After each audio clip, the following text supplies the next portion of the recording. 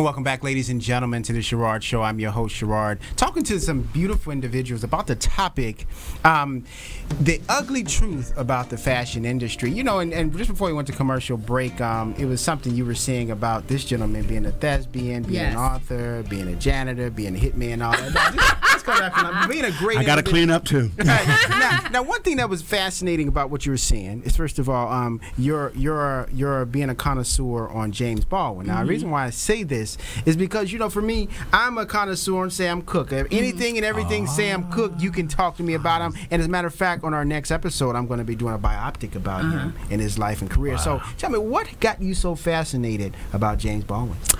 I met James Baldwin when I was a freshman at Morehouse College. Really? I was walking across the campus, and uh, his eyes met mine. He said, "You have eyes like mine," but I ran. Mm. I was young, didn't know what to do. I ran, mm. and then after that, Now, I've did you been- know it was James Baldwin? You were I knew who I was running into. I'm gonna tell you what was going on. The Wayne Williams case was going on at the time in Atlanta, Georgia. and so oh, he was there working for Playboy magazine. We knew that, and so, but the whole thing was I was trying to get back from my curfew, so I was trying to be diligent. So I ran, mm-hmm. and then after when I discovered what happened, I was like, "Dang, I could have had a longer talk." And then after Wow. that, I started reading more Baldwin, came involved in Baldwin, and ended up doing a play about him in Yeah. 2000. Awesome, awesome, Yeah. and, and it's, it's amazing to be able to cover something on a live, uh, somebody that's a living legend. Yes. and to be able to have a biopic about him as well. So now, in terms of you, Melissa, Yeah. who is it that you um, really enjoy um, being able to have a fascinating, of uh, you know, appreciation with? Is it Judy Pace? Is it? Uh, Um, uh, actually, it's Maya Angelou,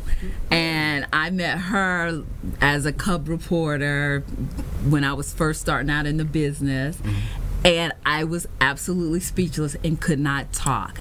It was like the most crazy thing. I was introduced to her. I reached out my hand, and nothing came out my mouth.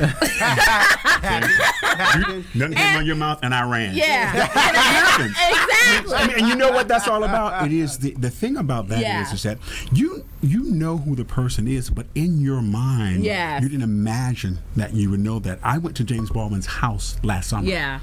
All the way down. never, to, never thought you'd ever be there, did you? uh, all the way down to St. Paul. I got me a brick and everything. You know, what's funny thing about it. So, for example, like when I had uh, Judy Pace on the show, you know, Yeah. everybody, every young guy had a crush on Judy Yeah. Pace. You know, we're growing Well, up. I they still crush. do. I have a crush on Judy Pace Uh, because uh, she's girls, I have a girl crush on Judy But- Pace. but She you is so beautiful. Absolutely, and then just have a wonderful, wonderful personality as well. And the fact is that um, to be able to have her in a show, have Stevie Wonder stop by my show, Mm-hmm. have the Rolling Stones, have all these different people that you grew up listening to their music and they're there. That's one thing I really like. When they told me about the fashion show you did, I had to call you immediately. You know why? Yeah. Because you were honoring people that are still alive. Absolutely. Legends, and I love that. Absolutely. Now, what was really thrilling was meeting Richard Roundtree. I saw it. I saw it. and sh- of Shaft. And, and I saw he was one of them when I walked the catwalk. Yes, correct? he did. You, what people didn't know, I didn't realize He this. was a model. He was a model. That's how he started his career. He started his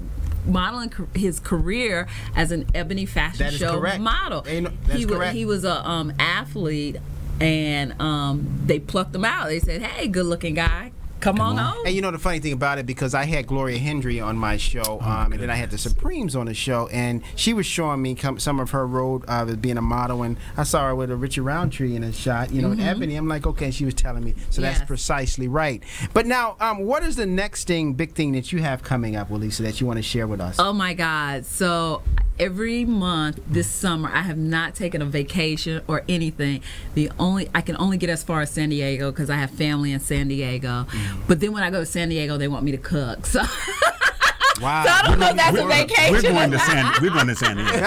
Here we go. Now, spaghetti or what are you cooking? no, no, no. They really love my macaroni cheese because I do this whole macaroni and cheese with bacon on top. It's a, uh, I call it a heart attack on a plate, and like one of my nephews said, he was willing to die for it. What? Wow. Now, now, right now, now. now, what do you make usually make with it? I mean, green short ribs. I mean, you know, whatever I'm in the mood for. Bad stuff. know. Boy. So, so, um, So anyway, getting back to what's next. What's Uh-huh. next is the Leimert Park Book Fair that is going to be happening um, in the Bal- the promenade of the Baldwin Hills Crenshaw Plaza, um, and tons tons of books, tons of people, tons of authors. Kim Coles from Living Single Love her. is our book ambassador. So you should come on out and meet her. What's the date to this? The date is August the 19th, Saturday, August the 19th. From what time? And that's in, Saturday, August the 19th, Leimert Park Book Fair. And that's- There you go. Plug that's it. Baldwin Hills. In Baldwin Baldwin Hills. Hills. Okay, excellent. exactly. And and for you, Charles, being a very busy man, now you shoot your show out here in L.A., correct? You know what? Our show has already completed our nine episodes. The deal is we are a tester show mm-hmm. that's been acquired to be on Centric because Centric is getting ready to rebrand to BET Her. Mm. So this is one of their first uh, scripted half an hour comedies that they're actually putting on. Yeah. Really? Yeah. Yeah, so we're the testers. So if you watch it, you like it, we'll get a second season. Oh, we're gonna like. hey, Make sure you like it, ladies and gentlemen. And Make leave sure some you comments. Beauty and a Baller. You know, don't be hating. I mean, a lot of Don't people- hate, please. You know, So let, let me tell you how to like us. You can like us by going to centrictv.com and actually you can see the first three episodes there. So you can uh, keep up with us. You can make your comments right there. And you can also catch us this Saturday night. And it's August really cute. And it's pretty. I see that you had to delay Tommy and Ford. talk to him about how it started off as a web series. Yeah, so we started this show as a web show actually in 2009 um, with only three characters. And my character had no lines when we first started. He's been just in the kitchen. Huh? I was I actually wasn't even in the kitchen. I was just running, bringing trays out like that. Um, and so basically, Michael Jagway is our uh, fierce writer, and he's also the producer director of the actual show. Um, so we took this little web show, took and did 12 episodes, and after that, we went to a couple of festivals. Started the LA Web Festival. There are about 25 web festivals around the country that deal with just internet web shows. And so after that, he got very uh, adventurous. He said, "You know what? I think this should be a TV show." So he developed into a TV show. We got what's called a SAG-AFTRA um, new media contract, which allows you to shoot up to 20 minutes. And we shot nine episodes in Calabasas about four years ago, and we just got acquisition. Tommy Ford.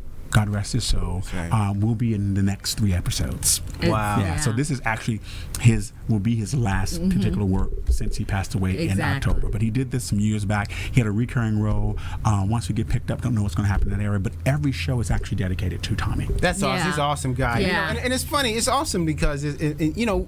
TV shows like yours and um, you know, like Martin and things. Don't you just love those classic sitcoms that we do? Oh, do, yes. you know, Where we're just laughing at Sanford and Sons. Exactly. Like Good I, w- yes, Those like are- I wake up because you know when the um, Jamie Foxx show was on. I don't know where I was, but I never watched that show. So like to see it now, it's so cute. I love it. And Living Color. I mean, I'm still going Yes. to YouTube to see episodes of Living Yeah. Color, just looking at Wanda. You know, Yeah, it's, it's- uh-huh. it's You really- absolutely hilarious. And he has an Academy Award now. Just going to show you, Jim Carrey, all of those people, they started these places. I think, like the cast that we have, let's say, um, what Michael did with our cast, he took uh, kind of like new folk, like myself, even though we might have been around a while, we consider it new, and he put us with some very seasoned people, Mm-hmm. like the Judy Pace, who's coming back into the business after being gone all these years, like Tommy Ford, Mm-hmm. like Dorien Wilson is a part of our cast as well, and he's also in another show as well called In the Cut. He's doing double time. Yeah. So um, that was what's that was what's so wonderful about having these people all together. And the show was actually fun, and I'm not saying just because I'm in it. It was actually fun to do. It was the right cast at the right time. really awesome. Yeah. So now, what next for you, Charles? What do you got? Going? Um, I do what's called the James Baldwin Literary Conversation Salons. It's kind of sort of a truncated version of the play where I go to college and speaking around Baldwin. Uh, and now that the new Baldwin's film out called I'm Not Your Negro, there's a section that deals with the book. I deal with the Baldwin Kennedy secret meeting of 1963 that Baldwin had. Um, and so I go around the country doing that. Um, I'm developing actually another web show that I've been working on with a friend of mine. We want to finish up that. Um, now, now, now, your book. Tell us about what's the title of your book. the book is called James Baldwin: A Soul on Fire. It is the play version of the actual um, play. A lot of times, what people don't realize is that once a play goes to Broadway, you normally kind of sort of put it out there, and it goes to Samuel French. Well, I decided to publish it independently, and I treat it like a regular book. So I go around having book signings because the playwright that wrote the play unfortunately died. So I, I got in charge of that. So I, I took care of the publishing and did the editing, and I got David Leeming, Baldwin's biographer, to write the foreword to the book. Wow, that is awesome sauce. You know, um, you are doing big things, ladies and gentlemen. You just see what they're doing. It's just you always hear all this negative stuff about what African Americans are doing or not doing, but you see these two individuals have big, big things going, and it's very inspirational. I'm sure to those who are watching right now, because there's a lot of people that have this desire to want to be an author, be a thespian, be a spokesperson, uh, be a model, but they don't have that kind of model or role model to be able to push them over. Well, you got them right here, ladies and gentlemen. This man, BET, this young lady is um, she's just a, a big time publicist and spokesperson. And the thing is that she there have a great positive attitude, and they haven't let success go through their head. Now, I'll, I'll throw it to you, uh, Walisa, first. Now, what kind of advice would you give to those young ladies or young men that are watching the show right now um, in terms of um, how you persevered in the industry? Oh, that's totally easy. For, that second piece of advice that that lovely Jewish man gave me was all anyone cares about in this town is how you is you winning. That's all anyone cares about. Winning.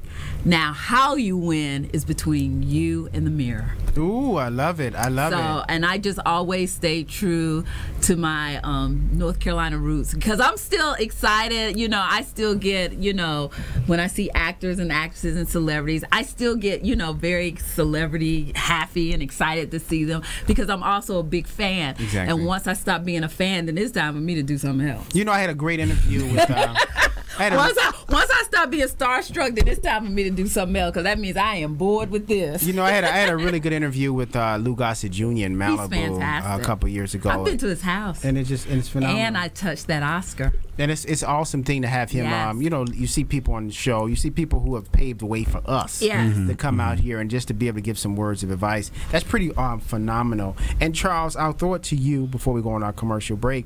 Um, what kind of advice would you be able to give to uh, someone out there, young and old, Young and old. black or white? You know what? James Baldwin once said, You don't tell life, life tells you. Uh, it's more so about the journey for me and letting the journey be whatever it is. Everybody has a different roadmap and don't be afraid to try all the different things and the bottom line is is that continue to go where your blood beats Mm, awesome. Now you know we've all failed in life, right? Yeah. Oh, yeah. We've all had our failures Oh, absolutely. But um, I guess uh, one of the biggest things that I was told before is never be afraid to fail. Right. Right. You know, and some of the greatest successes came from your failures. Absolutely. Yeah, if you ever, uh, go- if- and I'll tell this to you all back home as well. If you ever get Google Colonel Sanders' story, Uh huh. Okay. How- the fact that he even came out with KFC is a miracle because what he went through. KFC, Kentucky Fried Chicken, didn't come around till he was like in his uh, mid 60s. Really? and it was um it was a disaster Uh-huh. of how it came about. He lost his job. He's about to commit suicide. His wife left Oh him, and my all this stuff. And he failed so many times at it until it finally came to fruition, way way late in his life. So it just goes to show you, you know, people like to see all that glory, but they don't know the real story. Yeah, and I will say something that a mentor said to me. Amongst all the no's, it only takes one yes. Absolutely, absolutely, ladies and gentlemen. We come right back. We're going to have our final thoughts with these two uh, beautiful individuals um, regarding to their careers, and then we're also going to take your questions and comments Oh my right goodness. after this. Q and A.